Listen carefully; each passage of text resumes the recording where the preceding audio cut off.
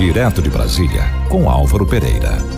9 horas e 2 minutos nessa terça-feira, 24 de dezembro de 2019, véspera de Natal. E hoje, Clarice Bernardes, bem-vinda, bom dia. O Direto de Brasília, direto de Coromandel, né? É isso, Pedro Cunha. Bom dia para você, bom dia aos ouvintes da Rádio Gerais FM, bom dia ao Álvaro que está aqui em Coromandel para falar com a gente. Bom dia, Clarice, bom dia, Pedro, bom dia aos ouvintes da Gerais FM, Coromandel e toda a região. Que bom, seja bem-vindo ao, aos nossos estúdios nessa data especial, véspera de Natal, né? Temos um direto de Brasília, direto de Coró, né?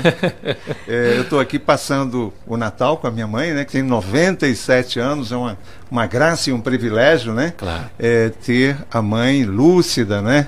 Com saúde aos 97 anos. Então estou aqui, como faço todos os anos, para passar o Natal com ela e ter o prazer de fazer o Direto de Brasília diretamente de Coromandel. É uma benção a gente poder passar o Natal junto com a família, né? É verdade. Com certeza.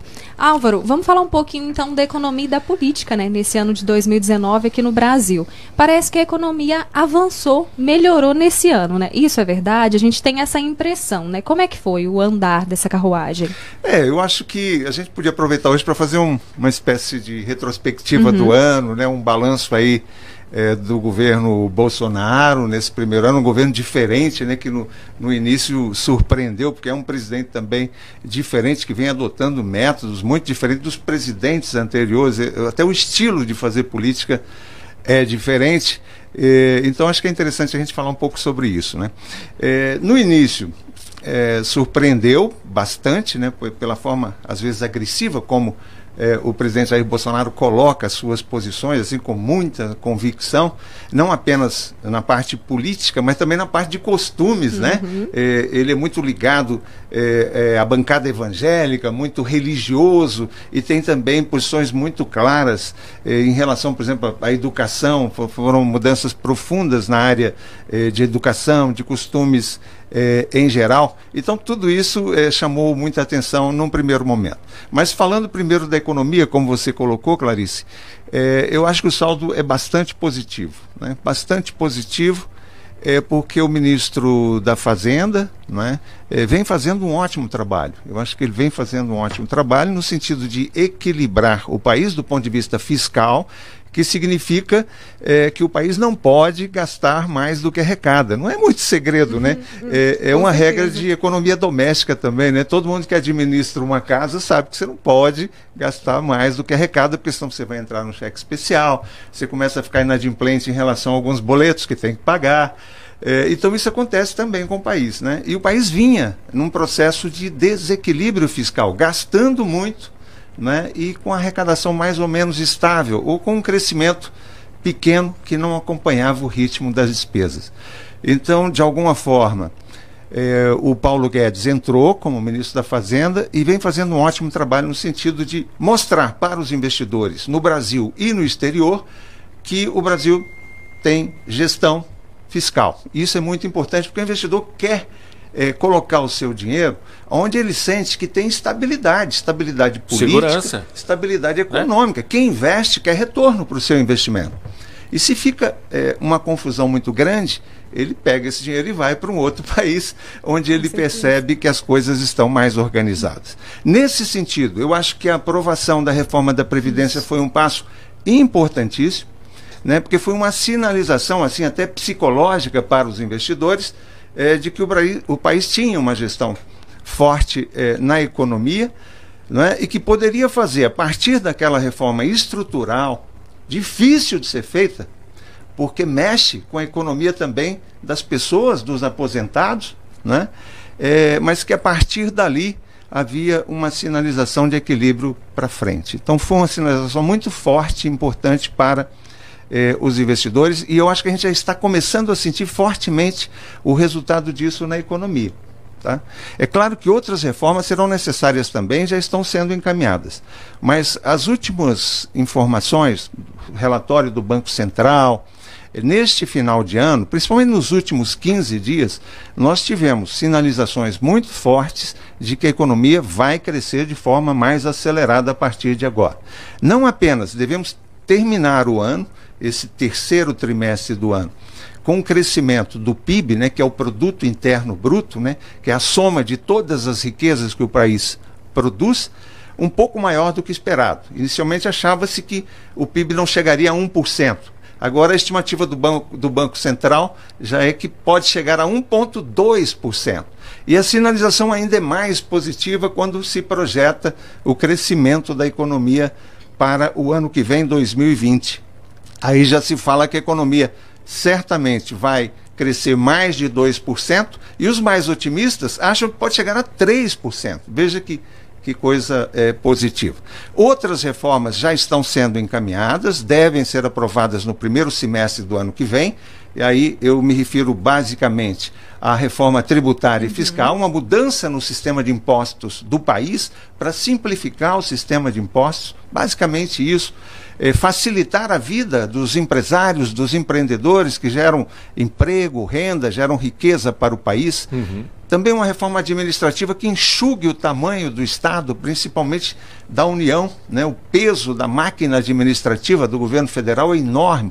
Então, uma reforma que torne um pouco mais racional aquele sistema administrativo e menos oneroso para nós contribuintes né? Porque essa, acaba que quem paga a conta é quem paga imposto. Sempre vai na tá ponta da agulha. Na base, né? É. É, então tem um outro projeto também que eles chamam de marco regulatório, que é muito importante, porque vai dar muita segurança em relação ao cumprimento de contratos. Então, especialmente nessa área, por exemplo, de privatização, o governo está querendo privatizar uma série é, de empresas estatais para investidores nacionais e estrangeiros, é muito importante ter esse marco regulatório, porque é a garantia de que a partir do momento que ele entra e investe num projeto aqui no Brasil, esse contrato vai ser cumprido até o fim, independentemente de que governo esteja exercendo o comando do país. Porque o que não pode é mudou o governo, muda o contrato. Ah, não, não queremos mais essa empresa no Brasil. Não pode. Você fez um contrato aí de 20, 30 anos para gerir um negócio esse contrato tem que ser cumprido até o final, independentemente é, do governo que esteja administrando o país.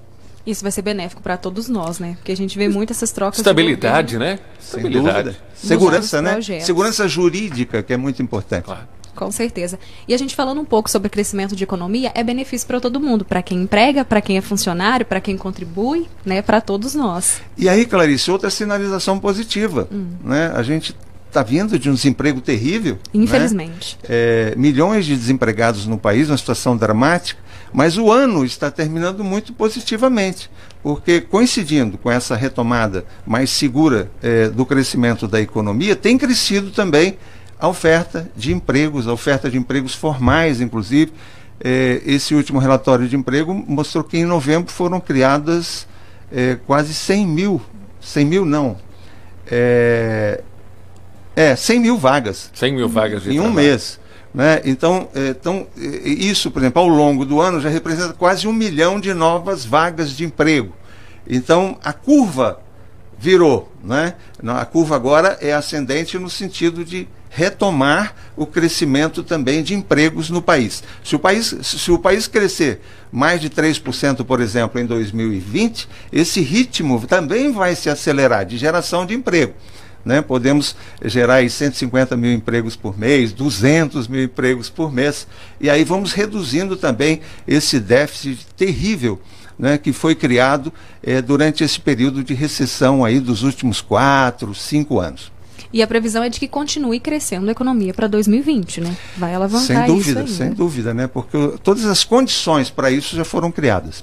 Então a gente aguarda, espera e acompanha. E, né? espera e torce, que a gente prospere. Né? E torce para que tudo dê certo. Que a gente caminhe para frente, para frente. Álvaro, mais algum destaque nesse ano de 2019? Assim, é, é importante destacar, eu falei aqui do, do estilo Jair Bolsonaro de governar, né? É, é diferente de tudo, mas está dando certo também na política. Por quê? É, ele encontrou um presidente da Câmara e um presidente do Senado é, bastante comprometidos também, por exemplo, com as reformas. Então, as reformas estão sendo feitas independentemente é, de o presidente ter maioria no Congresso Nacional.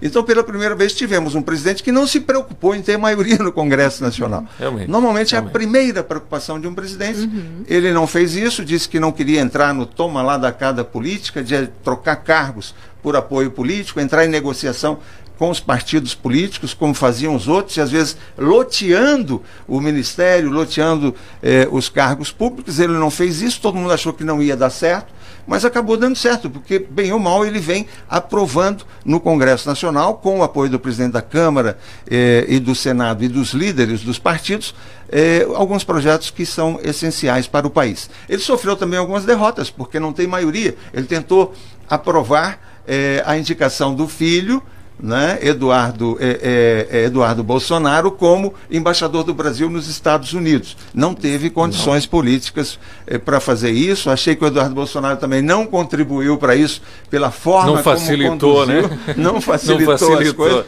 Mas o fato é que ele não conseguiu aprovar o nome dele no Senado e ele teve também é, a sabedoria de recuar. Quando ele percebe que não vai conseguir, ele, ele, ele recua, recua, diz ok, não deu. É, então tem a humildade também de, de receber é, uma derrota no Congresso Nacional como uma coisa natural no processo político, no processo democrático. Oh. Algo que é natural, né? Eu, eu vi, eu vi uma, uma, uma reportagem recentemente do Alexandre Garcia, é, um comentário que ele fez que há, que há muito tempo não se via uh, os três poderes trabalhando de forma independente, cada um fazendo o seu trabalho respectivamente. Você concorda com essa afirmação do Alexandre eu Garcia? Eu concordo, eu concordo, realmente, porque de alguma forma é, o presidente da República no Brasil, né, no regime presidencialista, ele é meio imperador, ele quer mandar em tudo, né? Uhum. não só no executivo, mas ele quer mandar no Congresso, formando uma maioria de apoio ao Congresso. E ele se torna tão forte que ele acaba influindo também nas decisões